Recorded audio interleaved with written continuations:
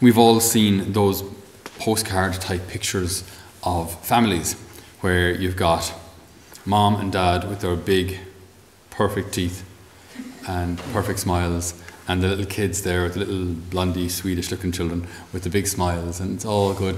And uh, you know, I, I, I, use them sometimes for, for presentations, so I do PowerPoints on, on different things, family life or whatever, whatever it may be.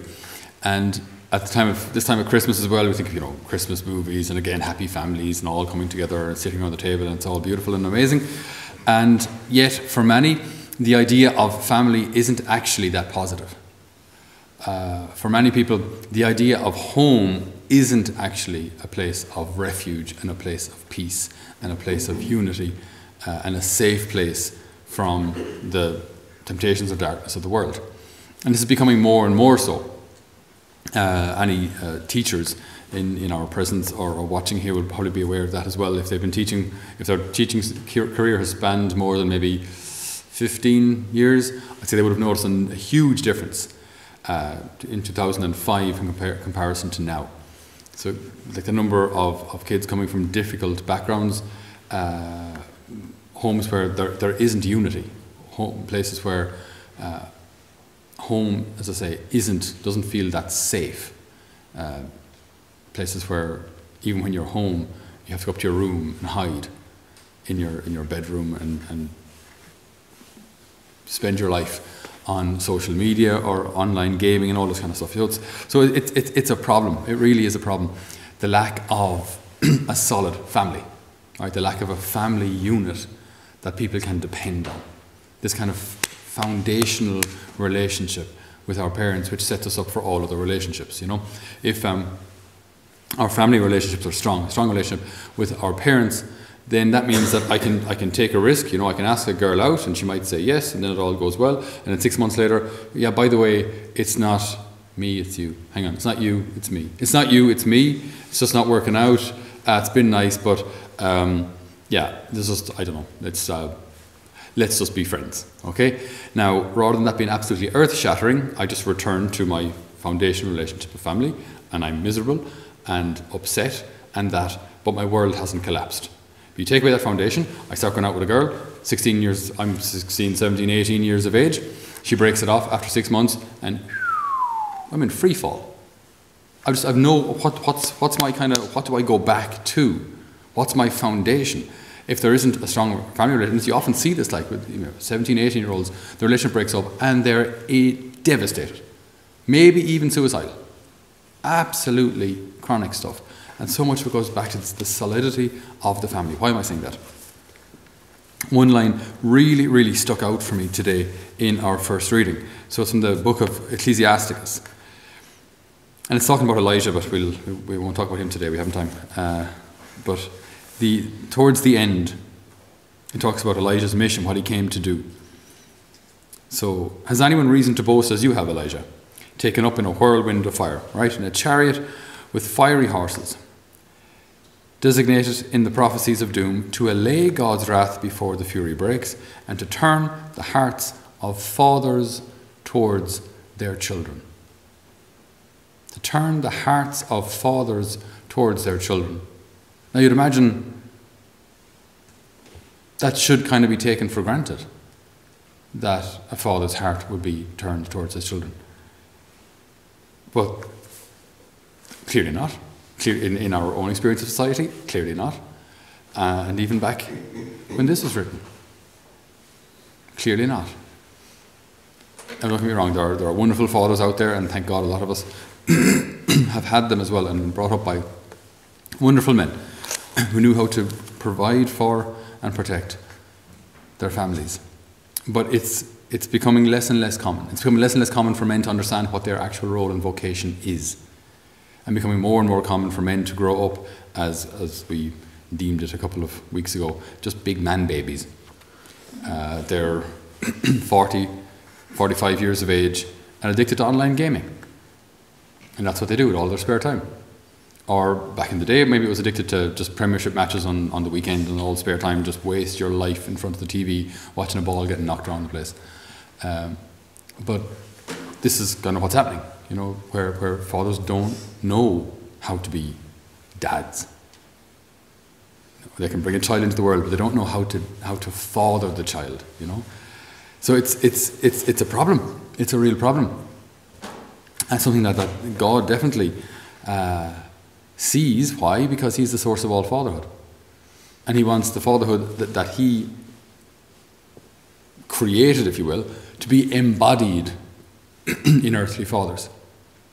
So, earthly fathers have, have, and priests for that matter, have the responsibility of representing God's fatherhood, of being that spark of divine fatherhood, and making it present and real and tangible and visible and practical here on earth.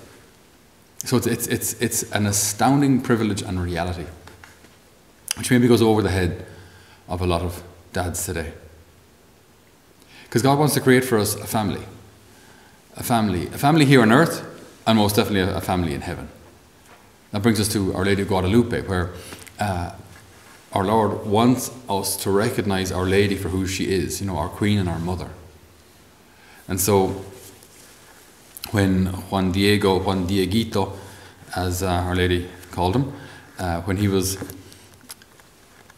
scaling the hill there in Tepeyac, in 1531 on the 9th of December, and he sees this beautiful young girl,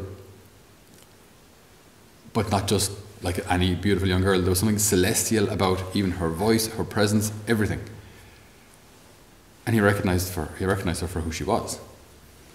Our Blessed Lady. What did she ask? She asked for a, a, a church to be built up there on Tepeyac. And you can imagine his initial reaction. We have a church, and actually, a cathedral down the hill. Why on earth do we need a church here? And who am I to ask the Archbishop to build a church? But if you say so, and so he goes on, and he speaks to the Archbishop, and understandably, I mean, I think if any of us were an Archbishop, and some man were to turn up at your door and say, How are you getting on? I've just seen Our Lady, and she asked that we build uh, a church there in Slievenamon. I'd say, Great, we, we'll pray about that. That's what we're going to do, right? We're going to pray about that. But I mean, you're not going to, you know, you're not going to be calling Sisk builders to get some cranes set up there. You know what I mean? You're not Jeannie. So anyway, uh, he doesn't really. The bishop didn't really believe him, understandably. Uh, so Juan Diego returns to the hill, actually trying to dodge Our Lady because he wanted to. He wants to get back to his uncle. Long story, uh, but Our Lady tracks him down and appears to him again, and she says to him that she'll give him a sign. So to scale the hill a little more and pick up pick roses. Now obviously this is December, not the season for roses. And he finds all these beautiful roses, picks them up, puts them into his tilma, which isn't too unlike my chasuble. Puts them all into his tilma, right, and heads down to the archbishop. Goes to the archbishop, uh, and they say, "You again, is it?" And uh, she says, "Yes." Uh, he says, "Yes." Our Lady has appeared to me. Wants the church built there and she gave me or you this sign. Then he opens his tilma. Multiple things happen in this moment. Firstly, the roses were of a particular sort, Castilian, if I remember correctly, that only grow in Spain. The Archbishop would have known that. I think he was either from there or spent some time there. Either way, he knew those roses weren't native to Mexico. Secondly, it's the wrong time of year, and this is 1531, so there were no, what do we use, like large fridges to, to preserve these things for a, a, longer period. It shouldn't have been possible.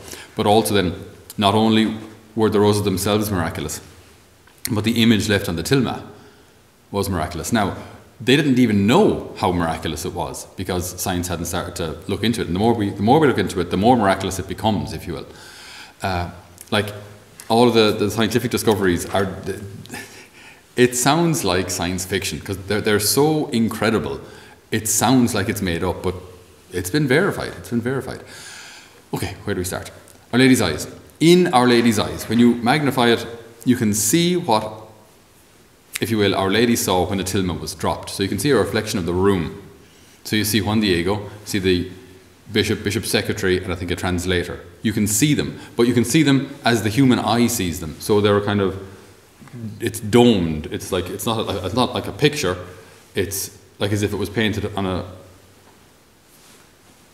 cylindrical surface of spherical spherical surface. It's, so it's all kind of it's somehow warped. Uh, because it's a picture of the inside of the human eye. Okay? How would you have drawn that in 1531? With the sharpest of pencils. you still couldn't. I mean, plus, there, there are no brush strokes. There's no under, you know, normally when, you, when you're drawing something like that, you sketch it in pencil first, then you paint on top. You paint, it's not exactly painting by numbers, but like you give yourself a, a sketch first so you get your proportions right, and then you start painting. You don't just start painting unless you're really, really good. Uh, but there are no brush strokes. So how do they get there? How do you put paint on a tilma or any cloth for that matter without a brush? Finger painting, is it? Like, I mean, but the detail is it's impossible. Also, then the, the star, the various stars on Our Lady's uh, clothes, they represent they are an accurate representation of the stars in the sky on the 12th of December in Mexico that night in 1531. Work that, I mean, even if you wanted to, how would you, how would any artist have tried to get, I mean, how would, how would you do it? Like, it's just. So, um, then Our Lady is standing on, on, on the moon. So any sort of residual pagan gods that were there, that were believed in by the Aztec people at the time. Uh, she's standing on the moon, so she's greater than the moon. She also has a, a sash around her, her waist, which was a sign for the locals at the time that she was pregnant. And so it's such a, a pro life, pro family image. Afterwards, there were obviously the, the, the church was built, huge numbers of conversions, and to this day, about 10 million, 10 million, twice the population of Ireland, goes to visit Guadalupe every year. Absolutely massive. So, it's all part, though, of God's plan for, for us to have a family, a family here on earth, in preparation for a divine family for all eternity, with God as Father, Our Lady as our Heavenly Mother, and Jesus as our, as our brother. So there's great need for renewal in the family. And this renewal will come because it's the building block of society. The family will go the way of the father. If the father's heart is warmed to his children, or the father's heart is turned towards his children, as our reading says, then the family is renewed. You renew the family, you renew society. But you take the father from the family, and the family will go will fall apart. Again, this isn't this isn't anything against moms. There are absolutely amazing, wonderful single moms out there who ended up in that situation through no fault of their own. The father did a runner. That's not their fault. and they do their best. But the statistics are very interesting. The statistics would appear sexist, but I don't really care. Um, they are what they are. The research done, right, shows that if a mom practices and dad doesn't, the chances of the children practicing are about 17%, so less than one in five. If, on the other hand, the father practices and the mother doesn't, the chances of the children practicing is about 80%. Now, take that up with the stats, not my fault. Okay, but that's just, and but you imagine, imagine just imagine Ireland you know, for the last 40-ish years, where we men have often delegated the spiritual stuff to our to our, to our wives, you know, to, to, to the moms. It's very rare that you see a father saying, "Right, kids, car, mass now." we're going. And, uh, you know, for, for fathers to, to lead their kids in prayer, for fathers to lead their kids in, in, in, in their faith. And it's, it's not about women being, it's not, it's not about being greater or less than women or anything like that. But if a father leads his children in the faith, he represents the Divine Father, the Heavenly Father. So we ask the good Lord today for these words to be fulfilled in our time that fathers' hearts may be turned towards their children, that we may recognize the greatness of our Heavenly Mother, of our need for her, that families all over the world may be renewed, and that we may enjoy forever the glory of our heavenly family for all eternity. Amen.